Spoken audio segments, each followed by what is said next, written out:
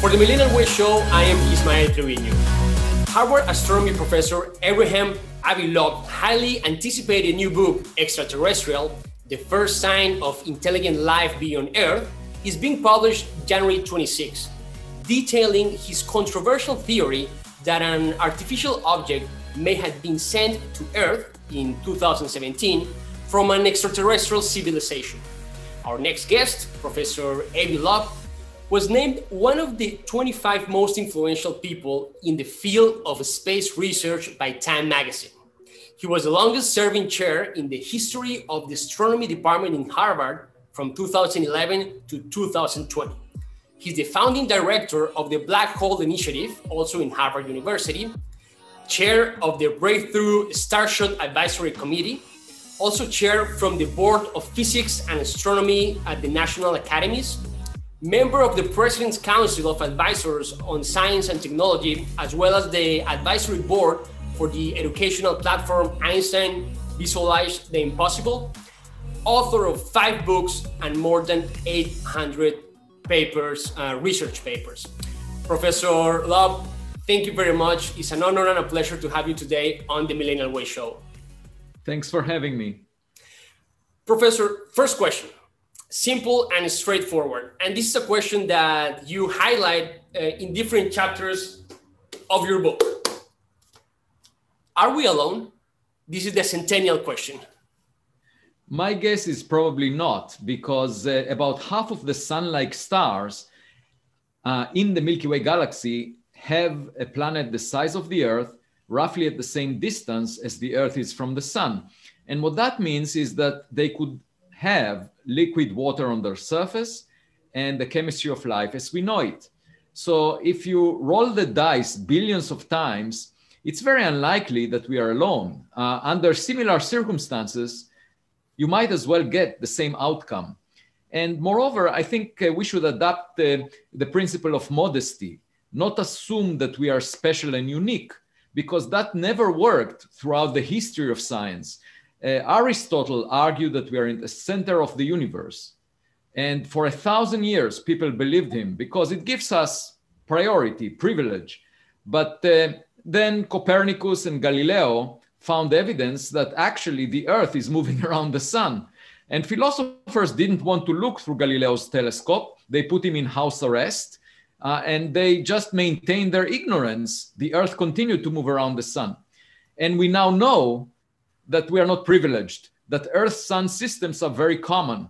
So if I had to guess by the same principle, I would argue that we are probably not alone, that there are lots of other forms of life out there. And also, I would go even farther and say we're probably not the smartest kid on the block because it's hard for me to imagine that by random processes of mixing chemicals in the early Earth, we ended up with the best outcome, which is life as we know it. There are probably better forms of life that are that have lasted longer, perhaps have a more advanced technology that they developed, and uh, we should just be modest and look at the sky and try to figure out who is out there. Professor, in your book, Extraterrestrial, how strong is the first sign of intelligent life beyond Earth? Talking about Oumuamua or Scout, as you call it in your the first chapters of your book. Right. So first, I would like to um, confess that uh, one of the reasons I search for intelligence in outer space is because I don't very often find it here on Earth. When I listen to the morning news every day, it sounds like you know humanity is wasting a lot of resources uh, in destructive actions. Uh, people fight each other uh, rather than collaborate and work together. And um, uh, therefore, you know, I'm looking out uh, in order to perhaps learn something from uh, civilizations that are more advanced and more intelligent. Now, Oumuamua was the very first object that was discovered in the vicinity of the Earth that came from outside the solar system, from interstellar space.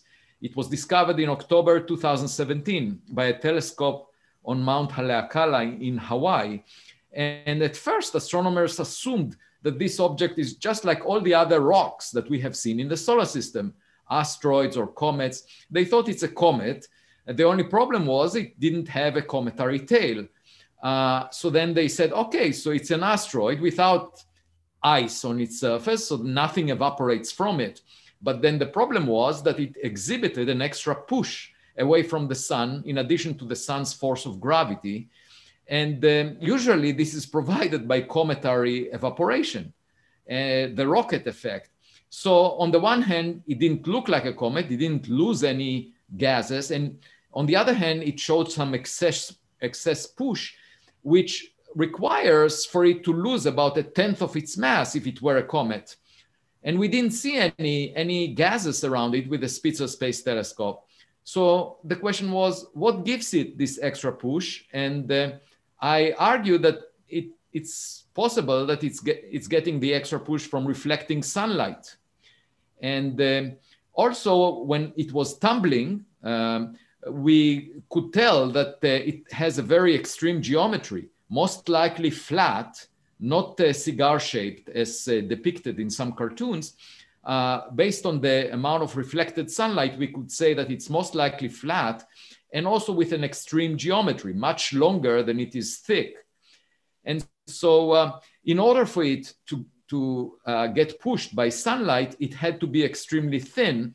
And we suggested that it may be like a sail uh, on a boat, which is pushed by wind, but except in this case, it's reflected sunlight.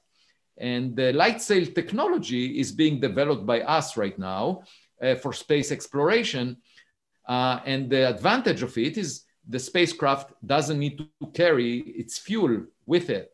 So it's possible that this object was manufactured by another civilization. Now, I should say that in uh, September 2020, just a few months ago, there was another object discovered that showed extra push away from the sun without a cometary tail. And it, turns out that this was a rocket booster from 1966 uh, in a lunar lander mission. Uh, and astronomers saw it uh, being pushed uh, without a cometary tail. And the reason for that is that it's very thin, this uh, booster, and it has a hollow structure. So we know why, because we produced it.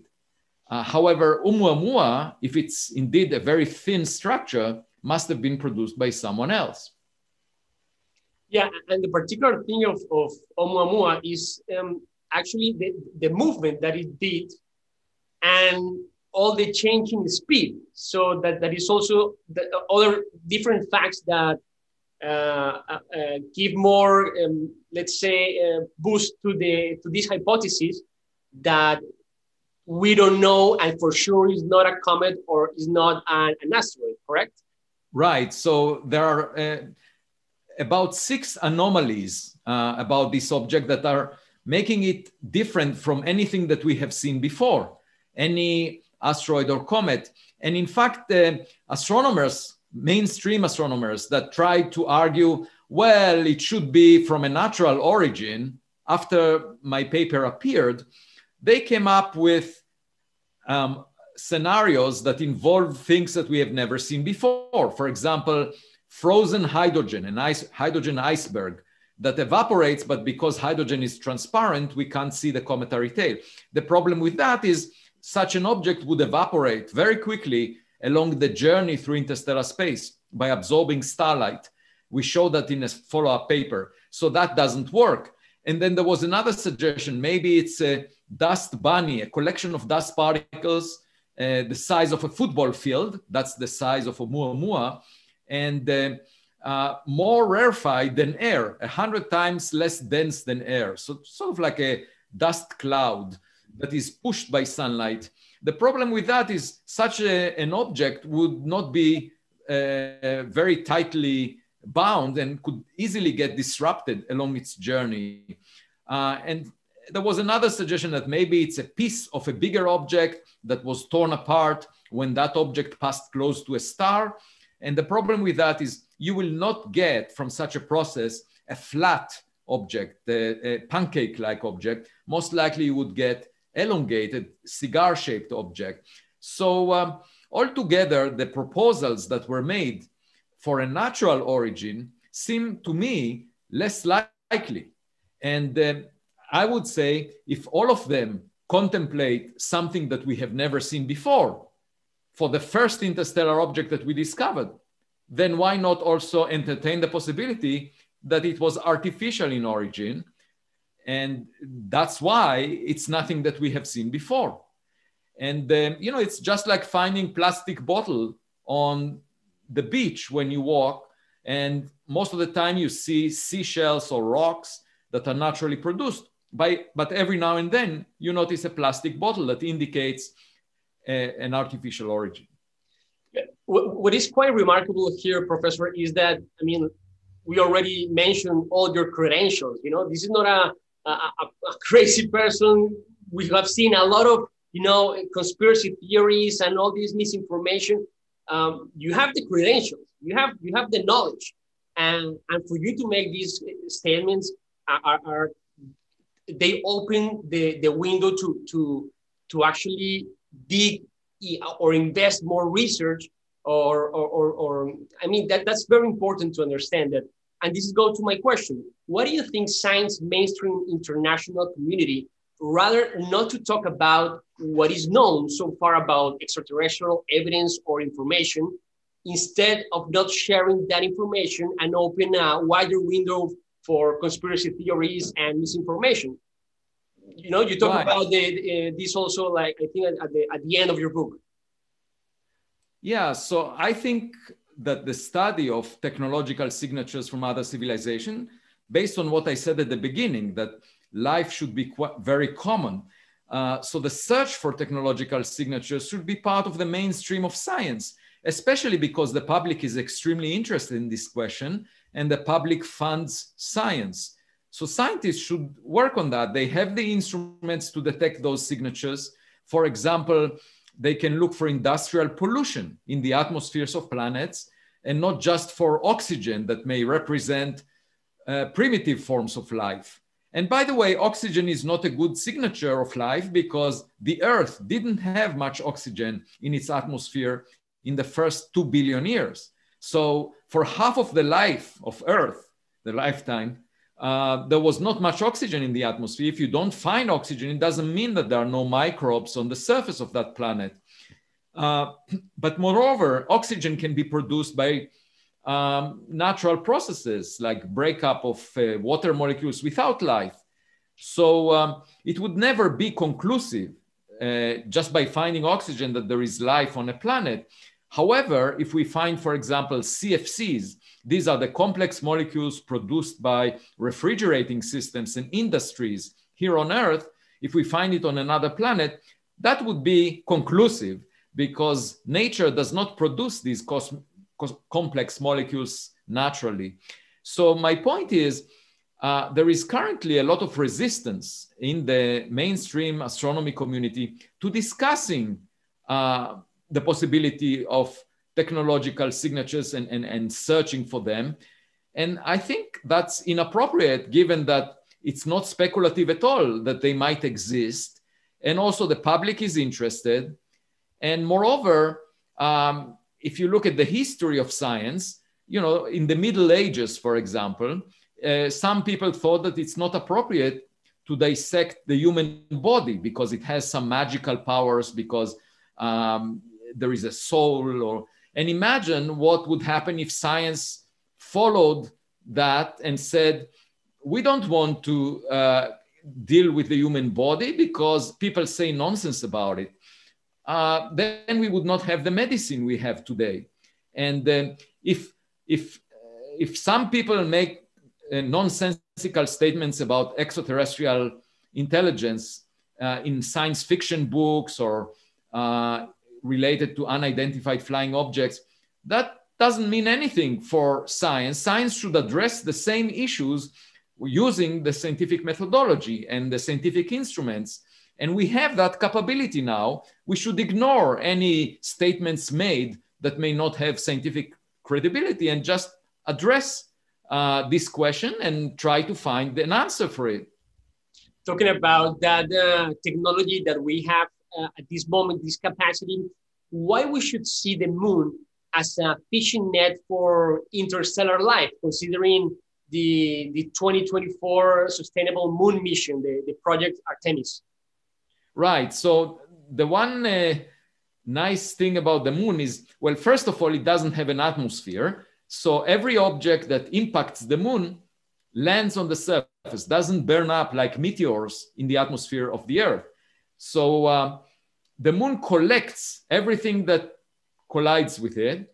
Moreover, it doesn't have any geological activity. So in the Earth, there is anything on the surface of the Earth gets mixed up within less than a hundred million years because of geological activity.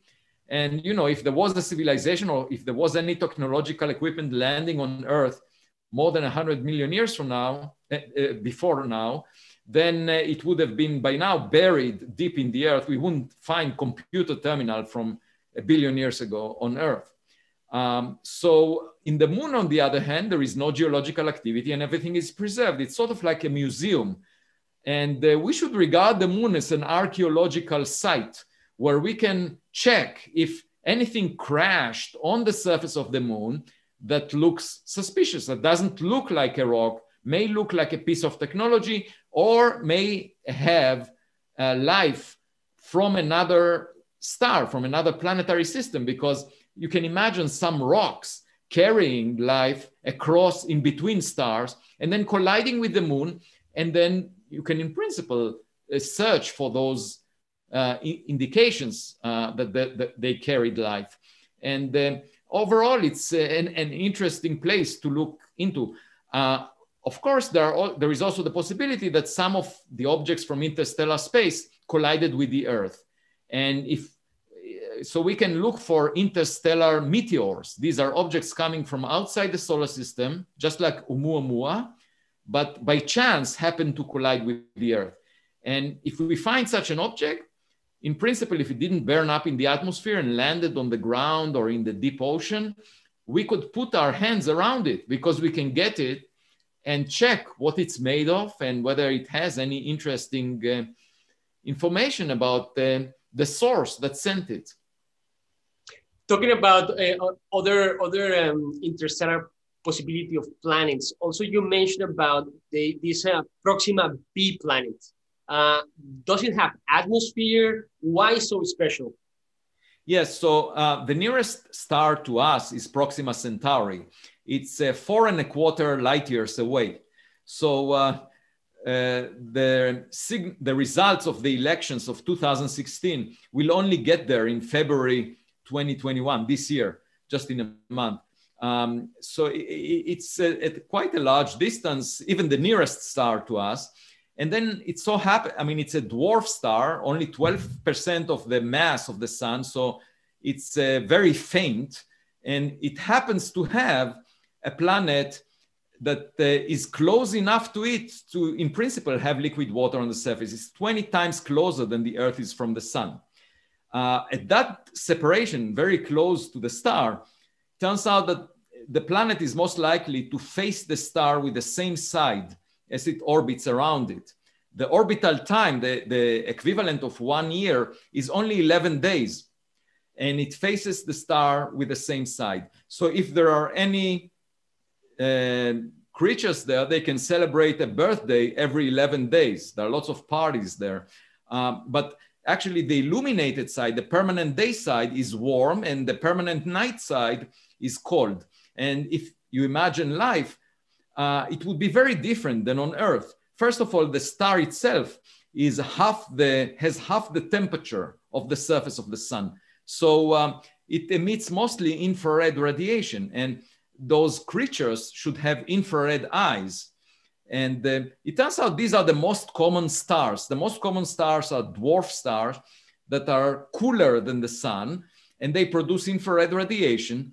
So if we ever ask why we've never had a visit, why did the travel agencies from other stars did not advertise our planet? It's because most of the other stars are dwarf stars and if there are any animals there, they have infrared eyes and they're used to seeing, for example, the, gra- the grass is red, the dark red in their, on their planet. And, and they wouldn't regard the green grass that we have with visible light as appealing. They would not find uh, the ideal vacation site here on Earth.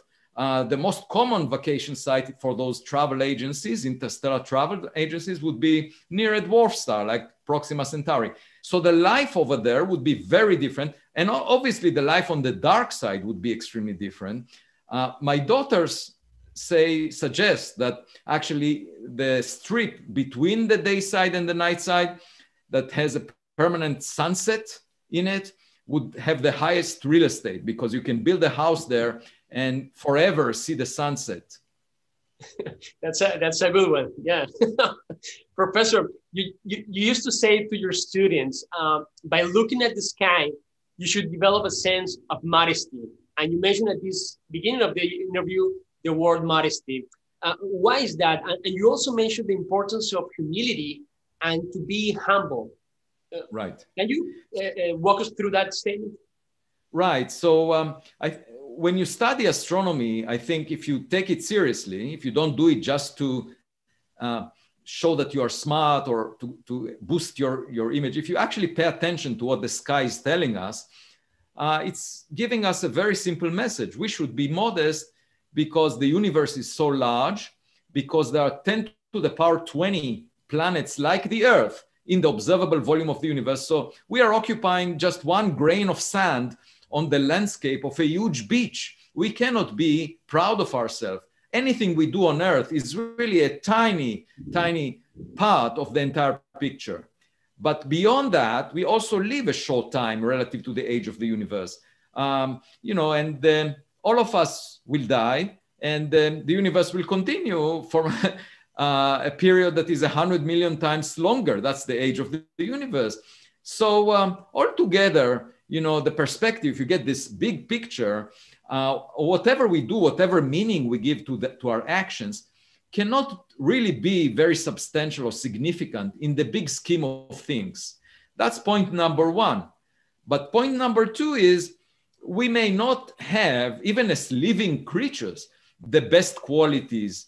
Uh, we might not be the smartest kid on the block or the sharpest cookie in the jar. And um, we should look around, you know. So the only reason, for example, my daughters, when they were infants, they thought that the world centers on them, that they have special qualities.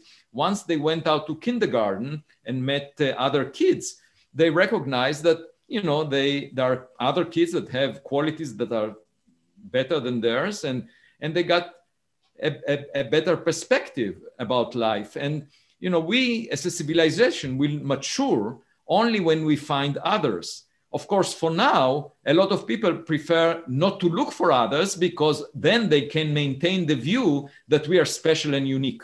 And that's part of the reason why I get pushback when I suggest uh, that Oumuamua uh, might have been uh, an artificial object because uh, people are not willing, scientists are not willing to consider the possibility it hurts their egos if we are not really the smartest kid in the, on the block. Professor, uh, reading your book, uh, I, I, could realize how remarkable has been your life so far. From, from a small farm in Israel to a world-renowned Harvard professor, top 25 most influential uh, people in the world of space research. Uh, how you did it? What's the key for, for, for this success? Or how can you define it? Well, first of all, I should say that I don't regard uh, the labels that I have uh, very highly because uh, I'm still the same as I was when I was a kid. You know, I'm, I'm curious about the world and trying to figure it out. I don't do political calculations. I don't manipulate people. I just, I'm trying to understand what the world is about. And, and that's part of the reason why I look different. You know, I came out with this statement about this object and the public seems to be extremely interested because the scientific community seemed to starve the public on this issue. So I was working on other subjects in the past, like black holes, cosmology, the study of the universe, the first stars. And I was addressing all the anomalies in those contexts in exactly the same way. You know, if, if there was evidence that the dark matter, most of the matter in the universe is anomalous in some way, I would come up with a suggestion that explains it and put it on the table and then uh, uh, encourage my colleagues to collect more data and figure it out. And I applied exactly the same approach in this case. Uh, just like a kid, you know, that is faced with a challenge to understand something, you know, I'm not afraid of being wrong. I may be wrong, but at the same time, you know, we should be open-minded and not have uh, prejudice dictate what we do and not always try to get the, the highest number of likes on Twitter. That is completely irrelevant. We should try to understand nature.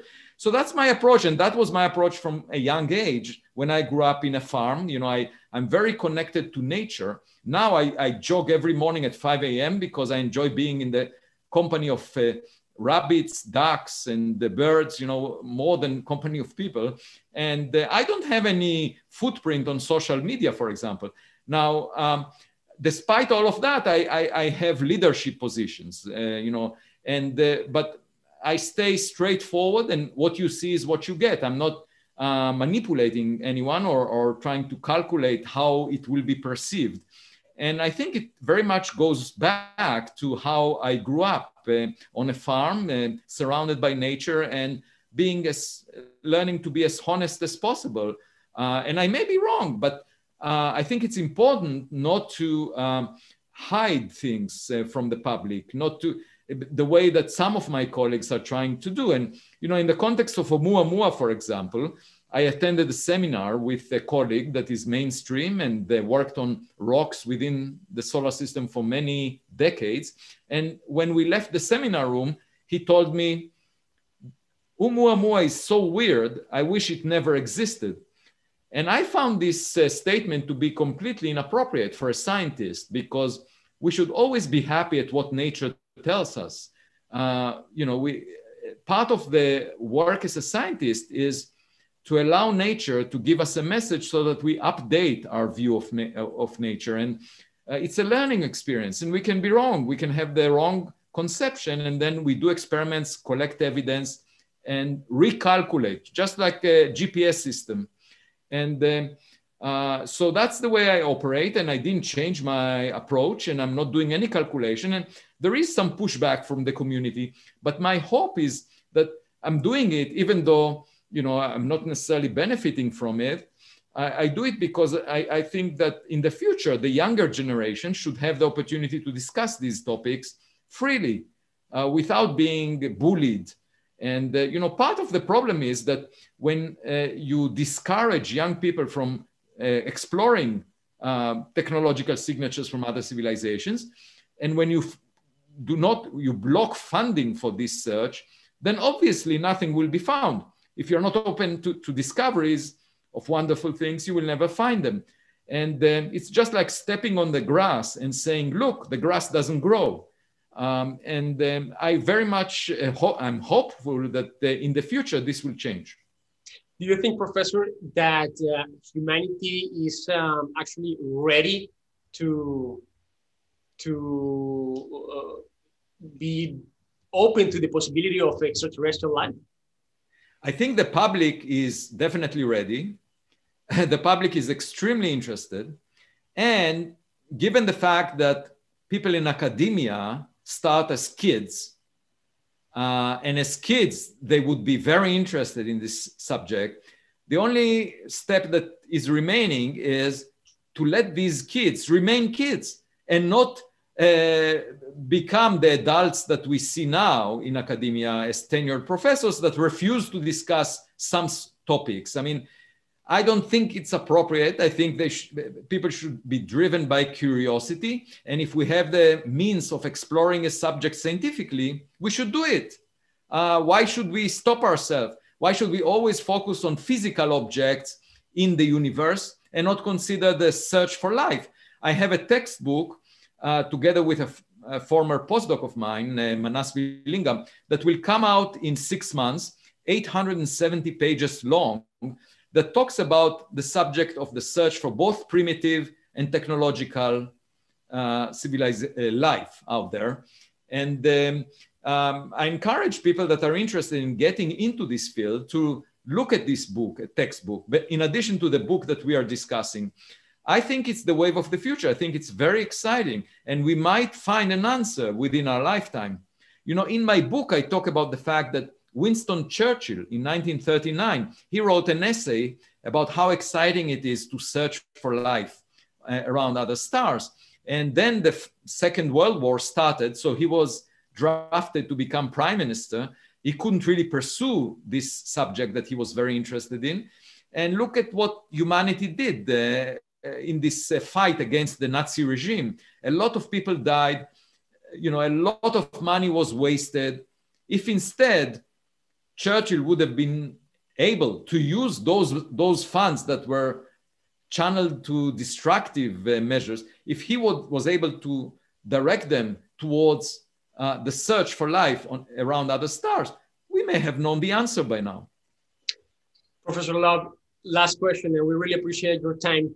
What would be your best advice for the people, I would say for the new generation that, that is not open to the possibility that it might be intelligent life beyond us?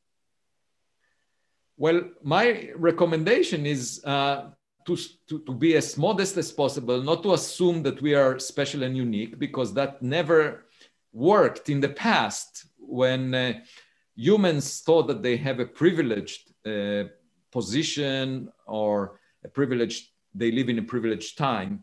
Uh, and then collect evidence, basically educate yourself based on what nature tells you rather than having a prejudice. Again, eh, that turned out throughout history to be a better approach. You know, nobody could have dreamt about quantum mechanics, which is a main pillar of modern physics, without the experiments telling us about it. And in fact, Einstein had a problem accepting the premise of quantum mechanics, and he was wrong. So, the lesson from all of that is even the smartest person of the 20th century uh, who resisted the notion of quantum mechanics was wrong we let we better let nature educate us look at the evidence rather than assume that we know the answer in advance and in the context of um, Oumuamua, it's a signal that we should search uh, the objects that enter the solar system from outside. And the next one that looks peculiar, just like Oumuamua, and we could find it with, uh, for example, the Vera Rubin Observatory that will come into operation in three years and will be much more sensitive than the Pan-STARRS telescope that discovered Oumuamua. We might find one per month. So the next object that looks peculiar, uh, if we catch it when it's approaching us, we can send a spacecraft with a camera that will take a close-up photo, and then we will know for sure whether it looks like a rock or something else. Harvard astronomy professor Abraham Avi Loeb author of Extraterrestrial, the first sign of intelligent life beyond Earth. Thank you very much for your time. Thank you very much for being on the Millennial Way Show. Thanks for having me. It was a pleasure. Until next one.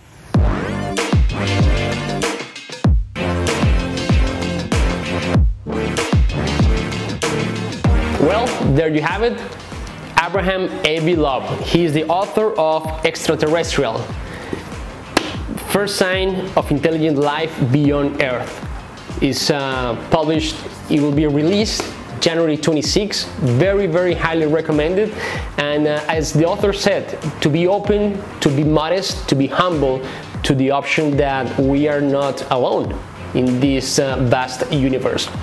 Thank you very much for watching. Remember that this interview, you can watch it in all our social media platforms, in YouTube, in Facebook, in Twitter. We are also in SoundCloud, in Spotify, in iHeartRadio, among many other podcast uh, versions. This is the Millennial Way Show, empowering the new generations.